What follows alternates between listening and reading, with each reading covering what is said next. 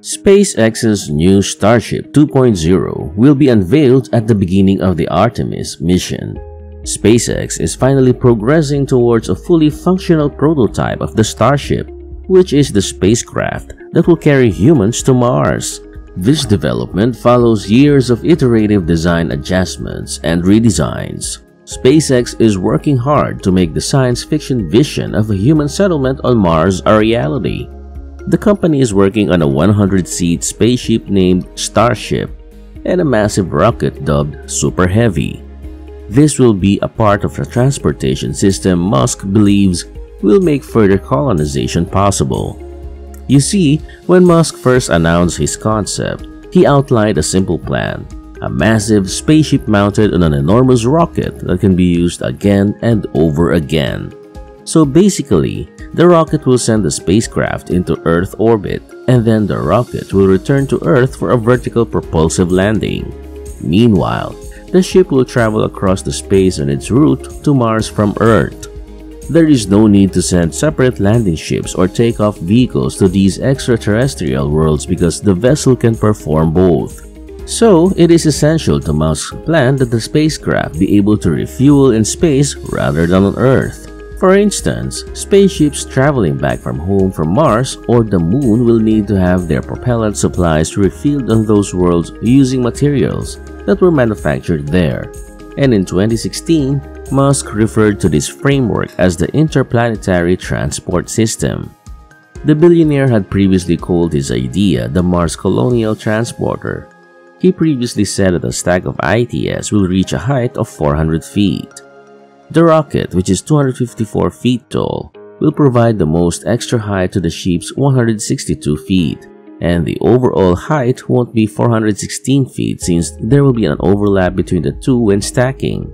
The next generation Raptor engine developed by SpaceX will propel both vehicles. Nine Raptor engines will be installed on the ITS ship, while 42 will be installed on the booster's 40-foot width.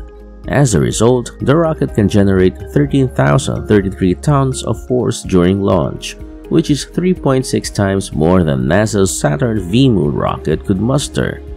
Also, there will be more than one ITS ship and booster in operation. Every 26 months, a fleet of spacecraft carrying a thousand people or more will be launched to Mars to carry out the ultimate plan. And with this, a metropolis of a million people may be built on Mars within the next 50 to 100 years. However, Musk did not create any blueprints or designs for the construction of this metropolis. He claimed that would occur naturally as more and more people settled on Mars. His analogy was to the Transcontinental Railroad, which in the 19th century allowed people to go westward from the east and Midwest.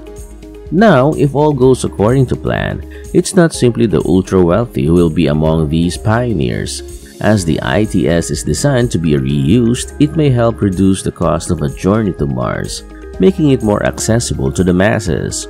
And even though Musk has made several changes to the system's architecture and terminology over the past three years, the overarching concept has remained the same. For instance, in 2017, he declared that ITS will henceforth be referred to as the BFR, which is an acronym for Big Falcon Rocket.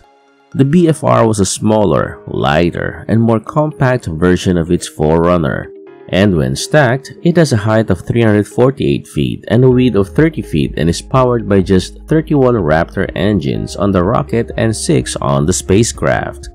However, the most notable modification included the introduction of the rocket ship, Musk stated that SpaceX would use the BFR for all of its future space travel requirements, and its many applications range from launching satellites to transporting humans to and from Mars to clearing up orbital debris.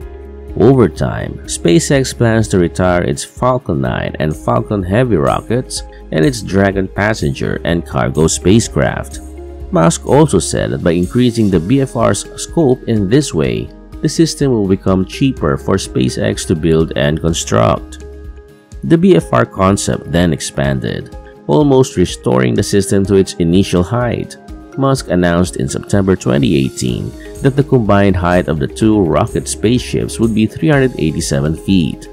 In addition to the previously announced 6 Raptors, the BFR ship will now have 7 and 4 adjustable fins, 2 in the vehicle's nose and 2 larger ones at its tail. The spacecraft has these fins to land safely on planets with substantial atmospheres like Mars and Earth. Moreover, the two tail fins and a stylized leg resembling a fin can be used as landing pads. The BFR was abandoned after only two months and Musk revealed that the system's new name is Starship. And even though the massive rocket will launch designated Super Heavy, the spacecraft will go by the same name. At that time, SpaceX still intends to construct a carbon fiber Starship vehicle. Nonetheless, Musk said in January 2019 that he was converting to stainless steel. Steel is somewhat heavier than carbon fiber, but has superior thermal characteristics and is significantly less expensive. Since then, he has praised the material swap as the finest design move made thus far on the ITS slash BFR slash Starship project. Musk said in May 2019 that the Starship vehicle would only have 6 Raptors instead of 7, and sometime later, he tweeted that instead of 31, Super Heavy would have 35 Raptors.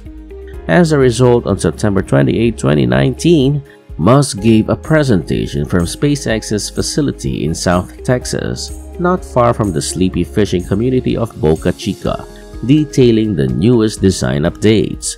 And although there were minor engine updates, the billionaire did not reveal any major alterations. Super Heavy can now carry 37 Raptors, although not all of them will be used on every flight.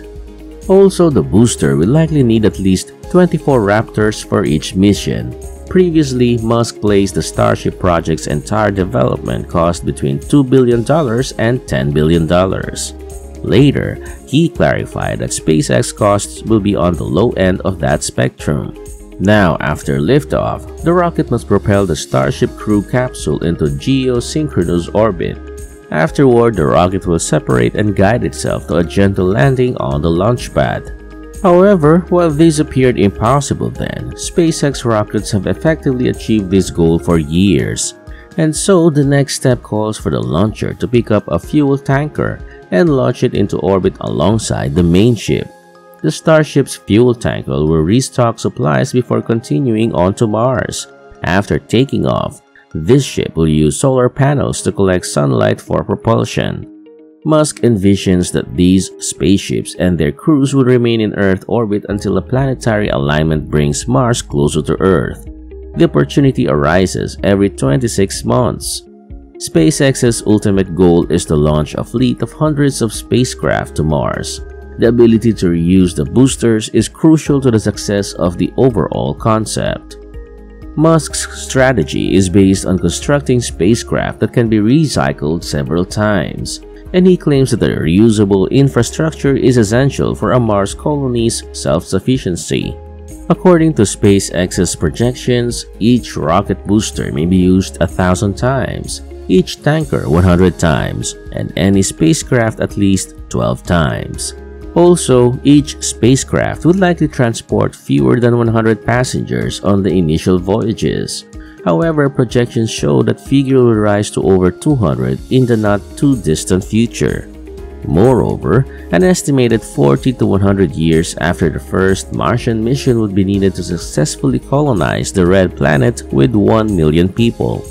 Since the rockets may be fired again and again, the ships can return to Earth anytime it is necessary, and human settlement on Mars can begin once a few unmanned cargo supply missions have landed on the red planet. Now, before we continue, I'd like to thank you for getting this far.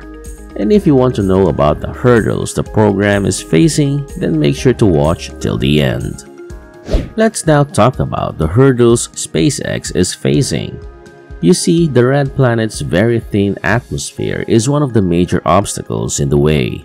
In fact, NASA had to take extra precautions since the Curiosity rover weighs just 2,000 pounds, which is only a fraction of the overall cargo that demand emissions will transport. Because of this, SpaceX keeps working to improve its hypersonic vintage rocket system and this reusable technique is necessary so that an extremely heavy spacecraft may be eased into the Martian atmosphere and sunk to the surface. However, that's not all of it. The process of entering the atmosphere is another. The ship must be able to refuel and return to Earth to begin again after withstanding the high temperatures experienced during entry and landing, and dropping supplies and establishing a propellant depot on the planet during the first few flights will likely be all that is done on those missions. Humans can colonize Mars once all the supply missions have been made. The first team will rely on subterranean drilling to unearth buried ice, and this will serve as the colony's water supply, generating electricity for the whole colony. As soon as the necessary crews of scientists and engineers have settled in, the race will begin for the first available seats on the ships that will transport eager colonists to the newly colonized planet. SpaceX's future goals rely heavily on the Raptor engine's efficiency, which is at the heart of every new rocket the company deploys. And so, the firm continuously enhances the engine's effectiveness and reusability through a series of updates. SpaceX has been using two versions of this engine, the newest of which is the Raptor 2. Raptor 2 has been updated with what the manufacturer claims are significant enhancements in speed and dependability over its predecessor. Raptor engines use super-chilled liquid oxygen and super-chilled liquid methane in a complete flow-stage combustion cycle. And SpaceX's next-generation spaceship Starship will now be powered by the pair. The Raptor engine uses the extremely beneficial FFSCC cycle, which maximizes the impulse generated by a given amount of fuel. This engine is the first of just three FFFSCC designs to ever make it past the prototype stage. Furthermore, the Starship is still undergoing development and research, and SpaceX just announced that the new vehicle prototype had a successful static fire test of its engines. On September 19, SpaceX tested the performance of its Starship Super Heavy prototype by launching it with seven of its engines. The business has never tested this many of its brand new Raptor engines all at once before, SpaceX has also been performing increasingly rigorous static fire tests in anticipation of Starship's first orbital mission. This specific static fire test lasts around 10 seconds, which is about the same as revving a car engine and then putting it in neutral. The FAA still needs to issue SpaceX a launch authorization for the first orbital test flight of Starship. In June, the firm successfully completed an environmental study, removing a significant obstacle.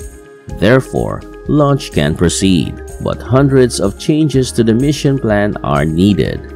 The Starship will lift off from Starbase, travel briefly into orbit, and then return to Earth via splashdown, landing in the Pacific once SpaceX receives the necessary approvals from government agencies.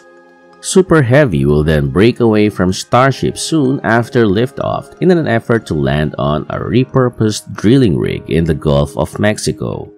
Now, everything here sets the stage for Starship to become a part of NASA's Artemis program, not only because of its inescapable role in delivering humans to Mars, and by 2025, this plan hopes sending humans back to the lunar surface. So, what do you think of SpaceX's Starship 2.0 and its plans to send humans to Mars? Let me know what you think in the comments section below.